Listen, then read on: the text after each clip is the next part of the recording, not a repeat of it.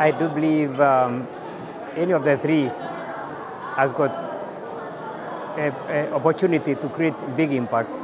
But I think digital technology, especially the internet, is like uh, spreading to everybody from the village to the person, through the church, through business to international community.